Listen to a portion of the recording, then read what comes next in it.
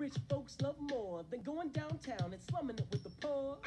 They pull up in the carriages and gawk at the students in the common just to watch them talk. Take Philip Schuyler, the man is loaded. Uh oh, but little does he know that his daughters, Peggy, Angelica, Eliza, sneak into the city just to watch all the guys at work. Angelica,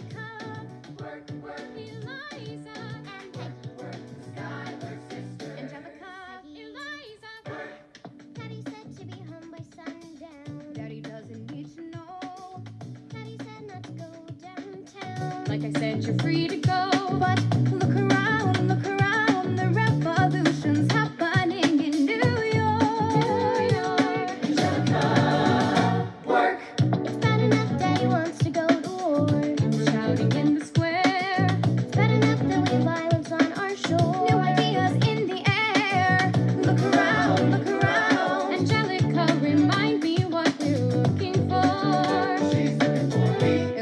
I'm looking for mind at work. Work. I'm looking for mind at work. Work. I'm looking for mind at work. Work. Whoa, whoa, whoa, work.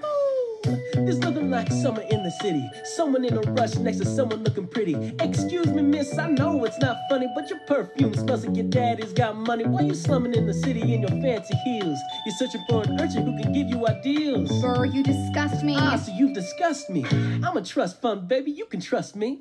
I've been reading Common Sense by Thomas Paine. Some men say that I'm intense or I'm insane. You want a revolution? I want a revelation. So listen to my declaration. We hold these truths to be self-evident that all men are created equal. And when I meet Thomas Jefferson, I'ma compel him to include women in the sequel. Work.